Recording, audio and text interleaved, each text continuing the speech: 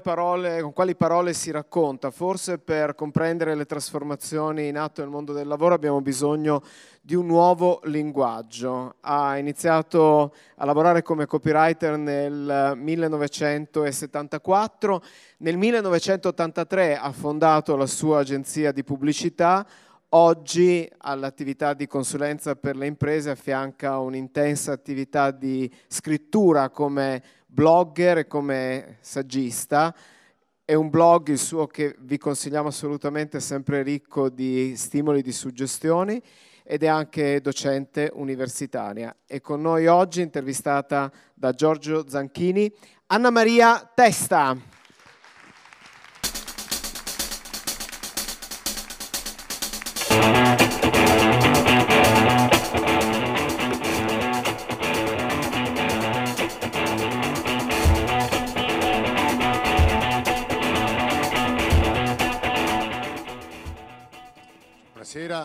Immagino Anna Maria che le cinque domande alle quali faceva riferimento Sebastiano siano sul tuo blog, io però l'ho lette, lo dico, su Internazionale, perché l'hanno pubblicata anche su Internazionale. Eh. Sono sia su Internazionale sia sul mio blog che si chiama Nuovo e Utile. Sono le cinque domande eh, prodotte da un gruppo di consulenti del Salone del Libro, ovviamente sono parte del gruppo, quindi ho partecipato a questo processo sono domande a cui stanno arrivando risposte dagli eh, scrittori, dagli scienziati, dagli artisti di tutto il mondo e dalle persone che hanno voglia di rispondere. Eh, poi a Torino, il, eh, durante il salone, vedremo quali sono le risposte. Ci sarà anche un sito per ospitare tutte le risposte, comprese le vostre.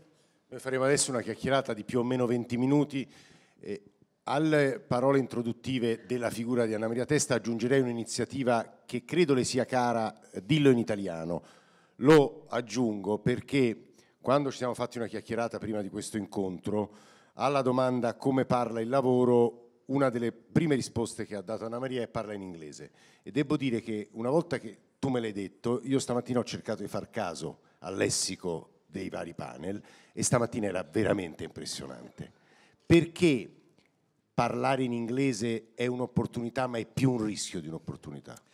Allora, in realtà parlasse in inglese, in realtà parla in itanglese, che è uno strano miscuglio di parole prese dall'inglese, spesso un po' oscure, infilate dentro un tessuto linguistico grammaticale italiano. Il risultato è immangiabile, è come mettere il ketchup sugli spaghetti e sperare che venga fuori una, una, una cosa commestibile. Devo fare due piccole premesse. La prima è questa. Le parole che usiamo danno forma al nostro pensiero. Qui noi oggi e ieri ci siamo scambiati mille pensieri usando eh, tante, tante, tante parole.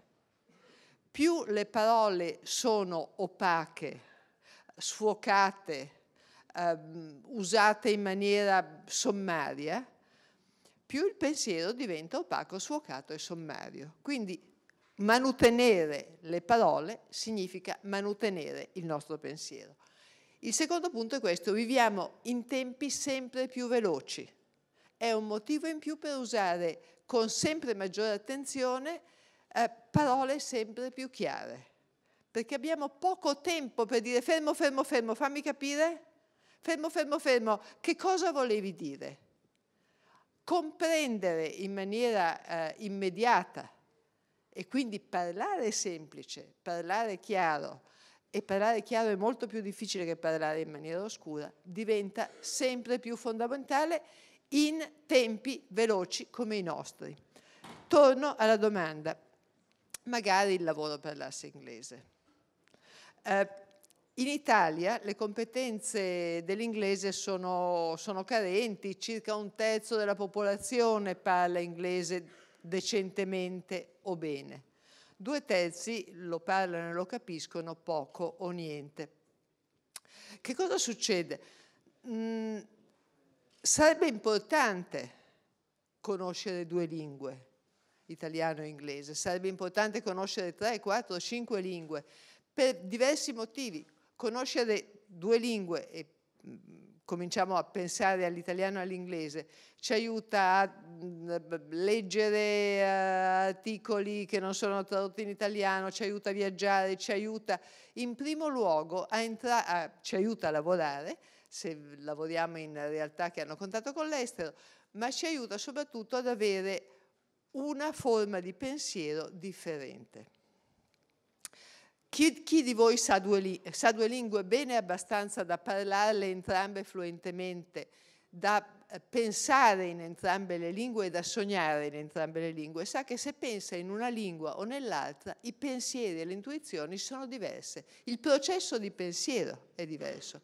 Quindi sapere due, due lingue ci raddoppia le potenzialità di pensiero, ci raddoppia anche le potenzialità creative. Aggiungo che è anche un fattore protettivo diventati vecchi, vecchi, vecchi nei confronti dell'integrità cere- cerebrale e della capacità del cervello di continuare a attuare i suoi processi anche in tardissima età. Detto questo, in Italia il lavoro non parla inglese, parla una orrenda insalata in cui i termini inglesi, la cui comprensione non è, non è diffusa e non è per nulla scontata, vengono infilati dentro discorsi come se fossero dei bip o dei segnali luminosi che si accendono. L'altro giorno, eh, non, non, l'altro giorno, ieri sera mi è, arrivata, mi è, arrivato un messaggio da un mio contatto di, di LinkedIn e dice sono stufa di usare una parola come, mm, eh, oh mamma mia, me la sono dimenticata. Eh, Ve lo dico fra un attimo, non appena mi torna in mente.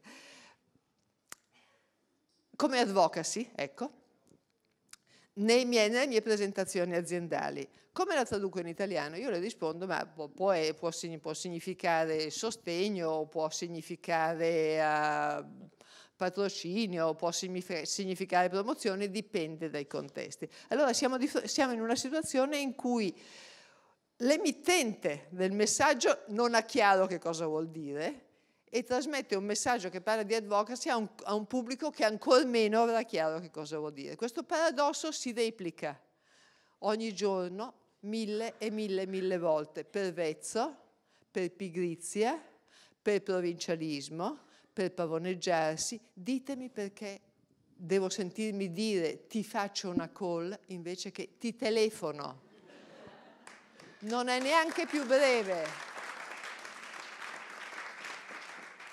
Perché fa più fico fare una call? Perché siamo così provinciali? In questo modo abbandoniamo anche non solo il nostro orgoglio, ma abbandoniamo una eh, ricchezza importante per il nostro paese. Chiudo poi questa, questa, questa risposta, ma volevo ricordarvi che l'italiano è la ventunesima lingua più parlata al mondo, quindi per un pelo soltanto sta nel gruppo delle 22 lingue parlate da metà dell'umanità, ma è la quarta lingua più studiata al mondo. È amatissima all'estero. Il, la, la seconda lingua più usata nelle insegne commerciali del mondo è l'italiano perché produttori di abiti eh, americani o di scarpe cinesi eh, o di pizze eh, sudafricane mettono l'italiano nelle loro insegne. E, e, e, noi scriviamo bakery, ma noi scriviamo Italian bakery. È, è, è vero, andate a Porta Nuova, c'è un Italian bakery scritto in inglese. È un, è un paradosso, stiamo disperdendo un patrimonio di, eh, anche di apprezzamento e di amore che il mondo ci, eh, è più che disposto a regalarci e che noi non apprezziamo. Maria Testa ha lavorato moltissimo, lo sapete, credo, eh, sul tema della creatività e qui ti chiederei di approfondire un pezzo della tua prima risposta, come se ci fosse una correlazione, un legame, un rapporto fra il possesso e la conoscenza che noi abbiamo, forse non tanto di una lingua, ma di alcuni termini e la creatività stessa. Ma è così, è così, nel senso che ciascuna parola è connessa a mille altre parole nella nostra mente, da fili sottili di analogie, di, so- di similitudini, di contrasto, di derivazione. Eh, quando noi ragioniamo e pensiamo e sogniamo nella nostra lingua madre, abbiamo a disposizione un materiale ricco di senso, di contenuti e di implicazioni. Le stesse strutture grammaticali dell'italiano guidano il nostro pensiero, che è, una lingua che ha strutture molto rigogliose, che uh, non è solo paratattica, che apre degli incisi, che si... Pe- Infatti spesso i traduttori in inglese trovano difficoltà a tradurre in simultanea, per esempio, il discorso italiano. Ecco, noi abbiamo a disposizione un, una struttura di pensiero rigogliosa come una foresta tropicale. Qualche volta va benissimo, qualche volta avremo bisogno di avere dei pensieri più lineari, ma se dobbiamo eh, praticare il pensiero creativo, questa lingua ci offre un substrato di struttura che è magnifico per il pensiero creativo e non a caso noi possiamo vantare per il passato ma anche per il presente una buona propensione alla creatività. Però dobbiamo considerare che la lingua, una, la lingua come una cassetta di attrezzi da tenere bene in ordine. Le parole, se non le usiamo, perdono di senso, perdono di attualità, si logorano, diventano vecchie. Tutte le volte che noi eh, diciamo call, uccidiamo tutte le possibili implicazioni che nella nostra mente suscita la parola telefonata. Ma tutte le volte che usiamo il brutto calco sull'inglese, eh, support, dare supporto invece che, dare, che sostenere, dare sostegno, che è una parola più importante. Eh, togliamo un po' delle implicazioni che abbiamo all'idea di sostegno, perché uno può sostenere una causa, un'idea, un, un partito, una parte, non può supportare una parte. Ecco, quindi se noi facciamo la fatica di tenerci stretto l'italiano e magari di accostarlo con un eccellente inglese, invece che eh, mescolare tutto quanto facendo poi le, le partacce di cui parlava stamattina Osvaldo, che parlava del signore che straparlava in inglese in riunione ma poi non sapeva sbiccicare due parole davanti a uno che l'inglese lo sapeva bene. Ecco, se facciamo questo, eh, manutenendo e curando la nostra eh, lingua, miglioreremo anche le nostre strutture di pensiero. Tra l'altro l'inglese, dici tu, può servire anche a mascherare quelle che tu definisci strane professioni o fragili professioni. Allora, io ho un sacco di, di persone con cui sono in relazione su uh, LinkedIn. Di tre quarti di loro non capisco il, l'ambito professionale. Ci sono ci sono delle robe assolutamente esotiche, ma che, che se, entro, se, cerco di capire che cosa significa non, non, non, ce, la posso, non ce la posso fare. Lo stesso riguarda, eh, io vengo dal mondo della comunicazione e della pubblicità, tante volte l'usare l'inglese per mascherare, per mascherare, un'assoluta pochezza di pensiero. Lo dico in inglese e sembra che dietro ci sia qualcosa, che dietro ci sia, ci sia qualcosa di importante. Spesso non è vero, spesso se facciamo la fatica di tradurre l'itanglese in puro italiano, scopriremo che si banalizza, ma non perché l'itanglese sia più ricco di senso, è perché è così povero di senso che una volta che andiamo a vedere qual è il senso scopriamo che non, che non ne ha. Anche i curricula sono, rischiano di essere pieni di trappole, di, quasi di truffe, mettiamola così, o di un lessico eh, fintamente aggressivo sì. o, o, maschilista. No, o, vorrei fare una, un, un appello ai ragazzi che preparano i loro, prima, i loro primi curricula. Non scrivete per cortesia che avete attitudine alla leadership se avete meno di 50 anni,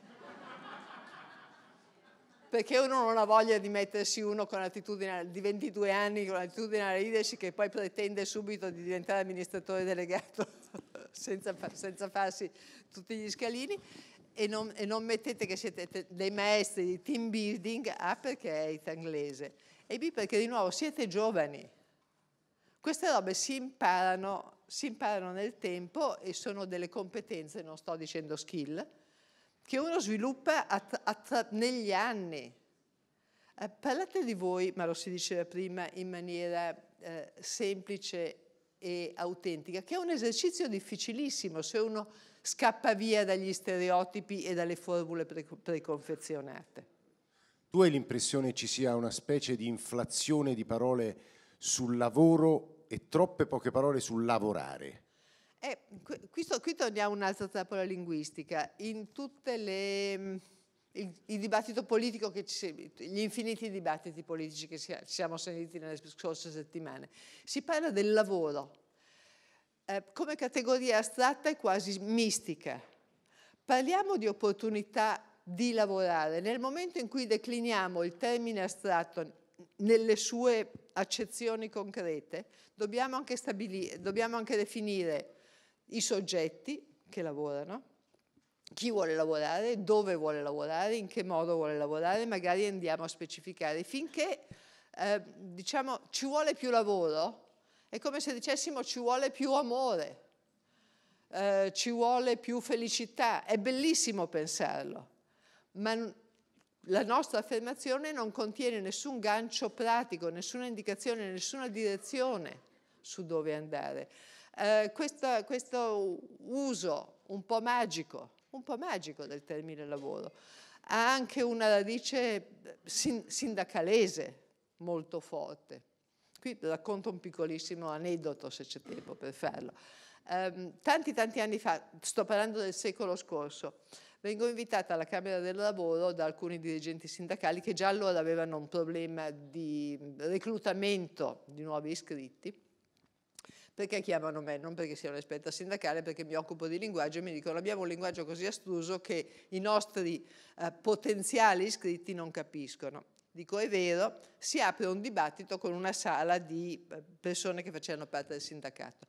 Quando propongo di fare un lavoro di semplificazione del linguaggio, non i dirigenti che mi hanno chiamato, ma l'intera sala di quadri intermedi insorge dicendo ci abbiamo messo cinque anni per imparare il sindacalese, adesso ci dite che dobbiamo buttare via questo enorme investimento di gergo per tornare a parlare semplice e quindi parlando semplice anche per perdere eh, potere e seduttività perché parliamo esattamente come tutti gli altri. Ecco, la sfida invece è farsi capire, è un fatto di onestà. Non sto parlando della sfida per i sindacati, sto uscendo dal tema sindacati per parlare molto più in generale. Farsi capire è un fatto di rispetto, eh, di onestà intellettuale nei confronti di, ciò che si pensa, eh, di onestà di relazione nei confronti di ciò che chiediamo agli altri, di ciò che gli altri pensano e di ciò che gli altri ci possono rispondere. È un modo per mettersi in pari col linguaggio nel senso che io non mi metto automaticamente in una posizione dominante dicendoti delle cose che tu non capisci, non capendo le quali sarai disarmato di, davanti alle mie affermazioni. Latino, eh, se oggi, torniamo all'itanglese, se oggi l'itanglese è il latinorum di, di manzoniana memoria, non dobbiamo combattere la lingua inglese, che ripeto è utilissima. Dobbiamo combattere il, ma, il maluso dei termini, l'abuso dei termini, eh, perché rovina i nostri discorsi e perché ci impedisce di impossessarci fino in fondo di un concetto.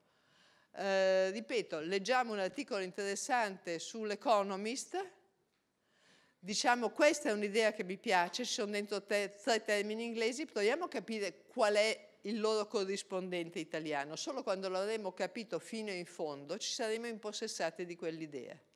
Altrimenti è come se ci tenessimo delle scatole chiuse in testa senza averle mai aperte, quindi senza sapere che cosa esattamente contengono. Io ho due ultime domande. Tu poco fa ci dicevi che due terzi dei tuoi rapporti su LinkedIn fanno lavori che non capisci per come sono descritti. Che forse non esistono. No, però il punto è proprio questo, cioè... La malignità è questa. I lavori contemporanei, eh, tu mi dicevi, hanno un modo di essere descritti o di autodefinirsi di poco fascino, ma che intendevi con questo? No, non di poco fascino, sono... sono... C'è poca scappano cosa. Scappano via. Scappano via ma scappano via, eh, voglio dire, le, le parole, questo l'ho, scoperto lavorando per le aziende, per la comunicazione d'impresa anche. Le parole hanno una magia, cioè se sono precise rendono più concreto ciò che descrivono, lo aiutano a capirlo meglio e a impossessarsene. Tutto ciò che è vago e scappa diventa meno esistente, meno concreto. Questo grande sforzo linguistico che dovremmo fare per rimpossessarci delle parole che descrivono ciò che facciamo, ciò che vorremmo fare, ciò che vorremmo essere. È anche un modo per aiutarci a diventare ciò che vorremmo essere, a impossessarci di ciò che vorremmo essere e a valorizzare ciò che siamo. Um, il, un altro tema di cui parlavamo prima, se, se ho tempo un attimo mi piacerebbe riprenderlo, eh, l'italiano è nel cuore del nostro Ministero degli Esteri. Come mai? Perché, visto che è così popolare all'estero, l'italiano è riconosciuto come eh, strutturale fattore di potere morbido, in inglese soft power, nel mondo. E il potere morbido è indipendente dalla potenza economica o militare di un paese. È potere di seduzione, di attrazione, di uh, seduzione culturale. Il mondo ci riconosce questo potere e questo potere passa anche attraverso la uh, straordinaria attrattività per gli stranieri della lingua italiana. Allora, perché uh, per provincialismo e per inconsapevolezza dobbiamo non uh, governare e accrescere questo potere? Ce l'abbiamo, lo stiamo sprecando. Lo, spre lo, lo, sprechiamo e lo disperdiamo quando ci dimentichiamo della bellezza e della potenza della nostra lingua. La Crusca ha appena pubblicato una serie di manuali intitolati, eh, che, che titolano l'italiano come lingua formidabile, è vero, ma ce ne accorgiamo quando cominciamo a usarlo bene. L'ultima cosa, ovviamente se hai voglia, in realtà nelle tue riflessioni c'erano già molti consigli, però anche alla luce della tua esperienza, di lavoro con la lingua, sulla lingua, sul messaggio, sulla comunicazione, c'è un consiglio pratico che potresti dare a questa sala? Parlare semplice è difficilissimo. Se dovete scrivere un testo semplice, pensate di investire il doppio del tempo che investireste per, per scrivere un testo qualsiasi. Cercare le parole giuste è un esercizio complicato. Eh, però è anche un esercizio appassionante e man mano che cerchiamo le parole giuste ci accorgiamo che i nostri pensieri diventano più chiari. Ricordiamoci sempre che parole e pensiero sono connessi. Se sparissero le parole, tutte insieme, sparirebbe anche la nostra capacità di pensare e ci ritroveremmo qui dentro smarriti senza sapere dove andare. Grazie Anna Maria Testa.